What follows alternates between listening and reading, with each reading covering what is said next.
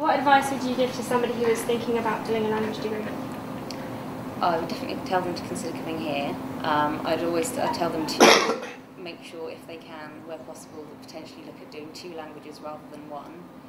Um, I'd also ask them to make sure that their university that they want to go to has, has decent language sources and decent language centres, and I would encourage them to take time out, um, either during their summer holidays, or waiting for exam results time, and do stints abroad, like in you know in ski season in France or anything, just to just to get that extra strength for their language.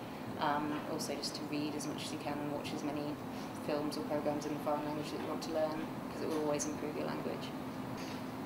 Would you say that there was a single piece of advice you could give to language students studying at UEA to help them find a job or enter the job market in the future? I think the best thing they can do is just study hard um, and just be self-confident. If you come across as confident in an interview, then you're far more likely to get the job.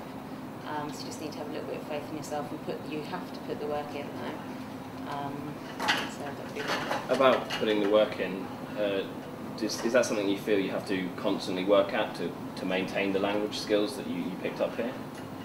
I think if I didn't use my languages in my jobs, it would be more difficult to maintain them. Um, you know, colloquialisms are always changing, so you need to keep up to date on that front. Um, and there's always the potential to learn more vocabulary because there's no way, even in your native language, you know every single word that exists. So it's always something that you can build on, and always something that you can better yourself.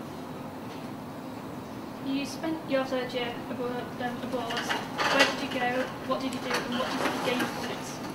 I had split because I was doing the double honours course. I split my year abroad. Um, for the first semester, I went to Alicante in Spain. Um, I studied at the university there.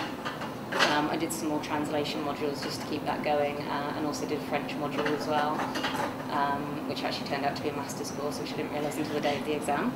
Um, so yeah, that's what I did there. Um, I also did a part-time job where I taught private tutored children English, only small children, sort of under the age of 13, but I did that. And then I went on to the University of Geneva, um, where again I just stuck with, went to the university um, and did some more translation modules there, and also some history, history modules and some cultural modules as well, just so I could sort of branch out and not sort of get too focused on one, one type of subject.